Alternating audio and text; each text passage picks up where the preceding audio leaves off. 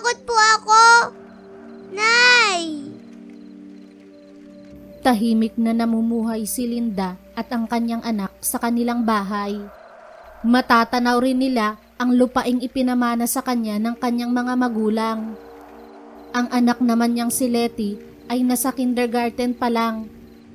Kung buhay pa sana si Ramon, tiyak may kapalitan ako maghatid sundo sa anak namin. Nakangiting sabi ni Linda habang nakamasid sa kanyang anak na nagbibihis. Nasa kalagitnaan siya ng kanyang pagmamasid kay Letty nang mapalingon siya sa bintana. Sino kaya iyan? Ano kaya ang kanyang ginagawa at parang may kakaiba sa kanya? Hanggang sa mapatitig ang matanda sa kanya. Ngumisi iyon kay Linda, bagay na nagpasidhi ng takot na nararamdaman ng babae. Letty, matagal ka pa ba riyan? Baka malilate ka ha?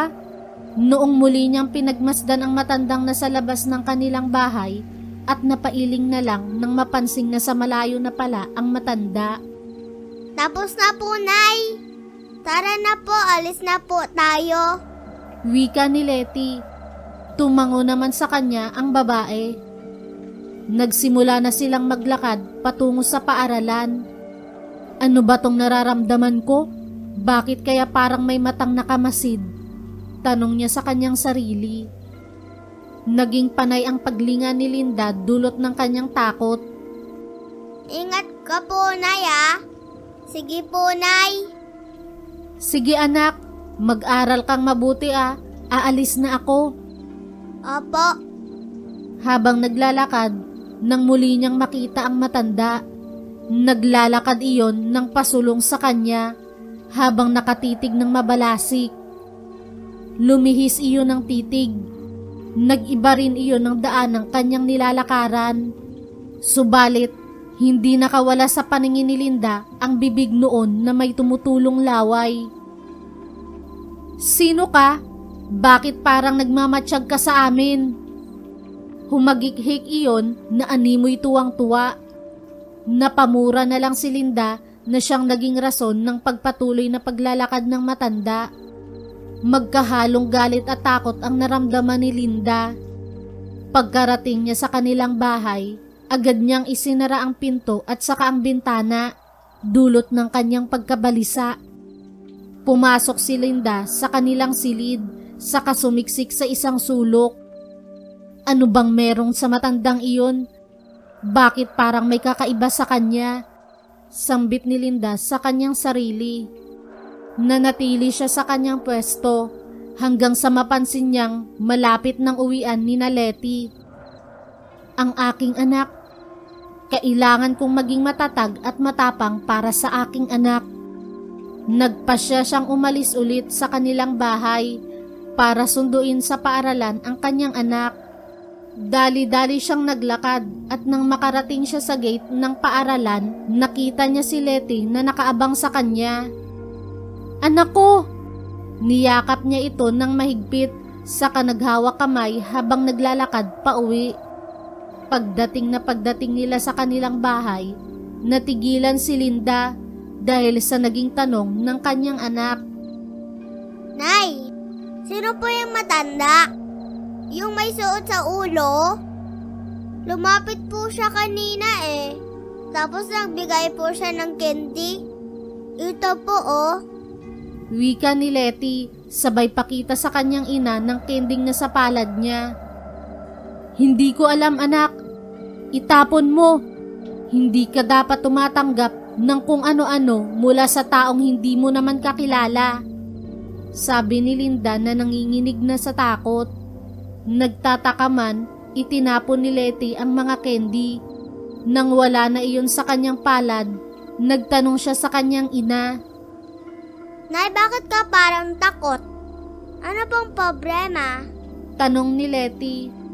Napangiti naman sa kanya ang kanyang ina sa kamahinahong nagwika. Wala anak, kailangan nating makasiguro dahil nauuso ngayon ang pangdudukot at saka ibinebenta nila sa mga sindikato.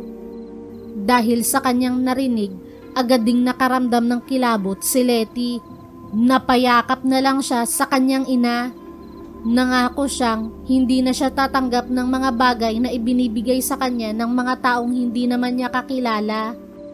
Kinagabihan, hindi gaanong nakatulog si Linda. Ang kanyang anak naman ay humihilik na, kaya napailing na lang ang babae. Hindi ako papayag na mayroong manakit sa'yo, sabi ni Linda sa kanyang sarili. Kahit na hindi siya inaantok, ipinikit na lang niya ang kanyang mga mata. Nasa ganoong sitwasyon siya nang bigla siyang makaramdam ng pagkaalinsangan ng panahon. Dahil doon, bumangon siya sa kakumuha ng tubig na kanyang maiinom. Pagkalagok na pagkalagok niya ng tubig, nagulat siya nang may marinig siyang pagkaluskos. Natigilan siya sa kanagmatsyag sa paligid hanggang sa mawari niyang malapit lang sa kanilang silid ang nasabing ingay. Si Letty, dali-dali siyang bumalik sa kanilang silid at naabutan niyang umuungol ang kanyang anak. Walang ano-ano, umihip ang hangin na may kasamang samyo na parang dumi ng manok. Dahil doon, napatitig si Linda sa bintana. Napakunot noo siya dahil alam niya sa kanyang sarili na naisara niya iyon Akmang lalapitan na sana niya iyon para isara nang may napansin siyang anino na tila nakasilip sa kanila. Sino yan? Pasigaw na tanong ni Linda. Subalit, wala namang sumasagot sa kanya. Dahan-dahan siyang naglakad patungo sa bintana. Sino? Hindi na naipagpatuloy ng babae ang kanyang sasabihin dahil nang tingnan niya ang labas ng bintana ay wala naman siyang nakitang malapit doon. Baka namamalikmata lang naman ako, sambit ni Linda at isinara na lang ng tuluyan ang bintana.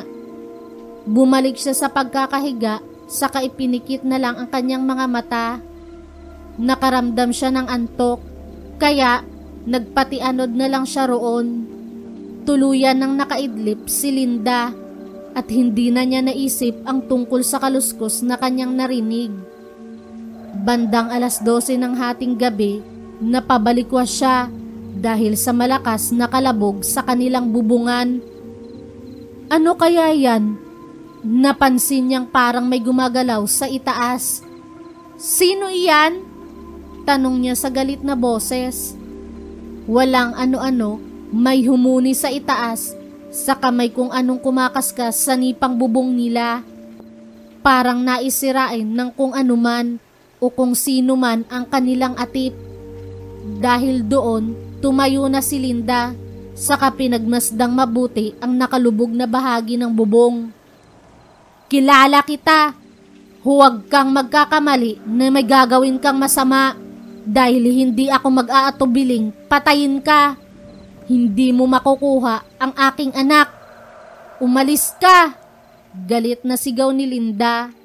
Nagpalingalinga siya hanggang sa maalala niya ang nakatagong itak ng kanyang yumaong asawa.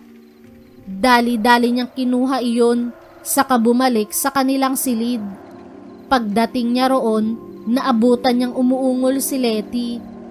Letty? Letty! Sambit niya sa kasinubukang yugyugin ang kanyang anak. Subalit kahit na anong gawin niya, hindi nagigising ang anak niya. Walang ano-ano, nakarinig siya ng malakas na ingay sa bubong. Napatingala siya at napamura ang babae nang makita niya ang malaking siwang na naroon. Kita niyang may nakasilip sa kanilang nilalang.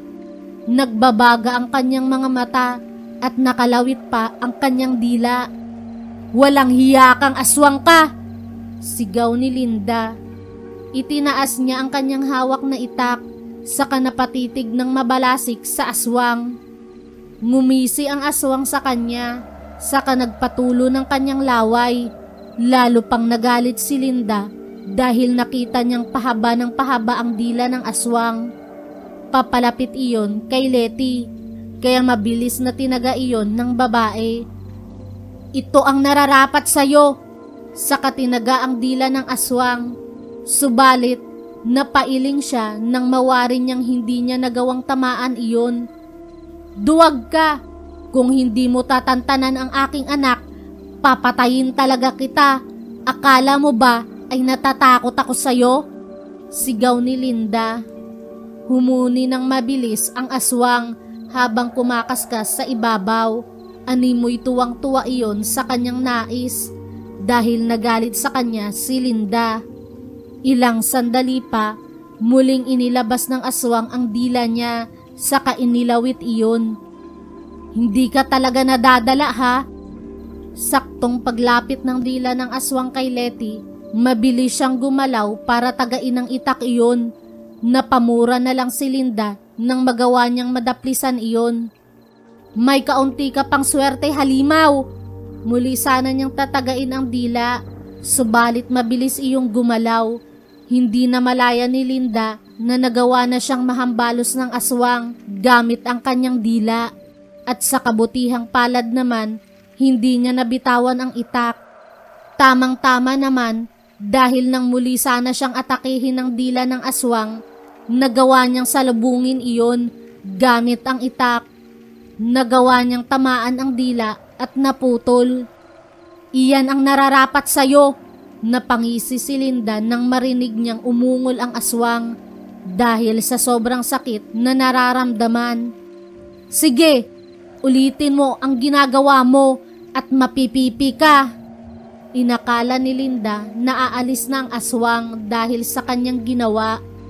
Subalit, laking gulat niya nang malaman niyang lumundag ang aswang at nakarinig na lang siya ng kalusko sa bintana. Ilang sandali pa, may kumalabog doon. Nang tingnan ng babae iyon, laking gulat niya nang malaman niyang nakasampa pala ang aswang sa bintana. Nakangisi iyon sa kanya sa kawalang humpay sa paglalaway. Humuni iyon sa kalumundag papasok sa kanilang silid. Huwag kang lalapit, sabi ni Linda habang tinutukan ng itak ang aswang. Pumwesto na rin siya sa tabi ni Letty upang siguraduhin hindi siya malalapitan ng aswang. Walang ano-ano, nakita ng babae na parang nanginig ang buong katawan ng kanyang anak. Sinubukan niyang gisingin ulit iyon pero sobrang himbing ng tulog ni Letty. Isa pang hakbang mo, aatakihin kita sa katatagain. Aswang ka lang sa kamatanda na. Pero ako, malakas pa. Dahil sa kanyang sinabi, napangisi ang aswang. Mabilis na lumapit sa kanya si Linda at tinaga iyon. Nagawang makailag ng aswang at napamura na lang ulit ang babae. Hindi ako papayag na saktan mo ang aking anak. Pilit siyang nagpumiglas mula sa pagkakahawak ng aswang at pareho silang natigilan nang marinig nila ang boses ni Letty. Bakit po, Nay? Ano ba nagyayari? Pagkakita ni Letty sa kanyang ina na hawak ng aswang Napasigaw iyon ng ubod ng lakas. Nataranta ang aswang at nabitawan niya si Linda. Humarap iyon kay Letty, saka umambang aatake. Bago pa man makagawa ng susunod na hakbang ang aswang, tinaga na siya sa leeg ni Linda.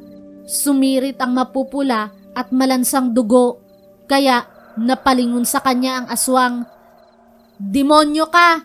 Kung hindi ka aalis dito, papatayin kita! Sigaw nito sa kanyang kaharap. Muli pang hinigpitan ni Linda ang kanyang paghahawak sa itak sa kawalang kaabog-abog na tinaga ang aswang. Tumama ang talim ng itak sa balikat ng aswang at muli iyong nasugatan. Umangil ang nasabing nilalang sa kahumarap kay Linda. Kita ng babae ang galit sa mukha ng aswang. Ipinakita ng nilalang ang kanyang pangil pero hindi nagpasindak si Linda. Hindi ako natatakot. Magkamatayan muna tayo. Sigaw niya sa aswang. Bago pa man may gawing hindi maganda ang aswang, muli siyang tinaga ni Linda sa kabilang balikat. Dahil sa dugong nawala sa kanyang katawan, nakaramdam ng panghihina ang aswang. Nay, takot po ako! Nay!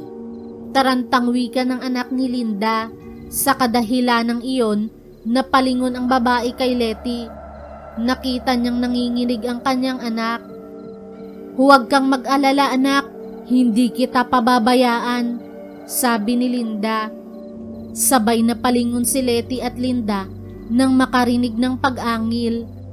Napalunok ang babae nang makita niyang duguan ang aswang na nakatayo at mabalasik na nakatitig sa kanila. Umalis ka na bago pa kita tuluyang patayin.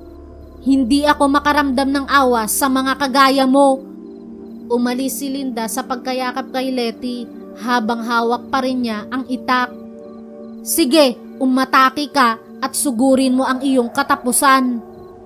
Inihanda ni Linda ang itak nang makita niyang nakaambang lulundag ang nasabing nilalang. Hindi nakinig sa babala ni Linda ang aswang Muli iyong umatake sa babae. Subalit agad na nakailag si Linda. Bago pa man makaatake ulit ang aswang, tinaga siya ni Linda. Napalakas ang paghataw ni Linda. Kaya malalim ang sugat na natamo ng aswang.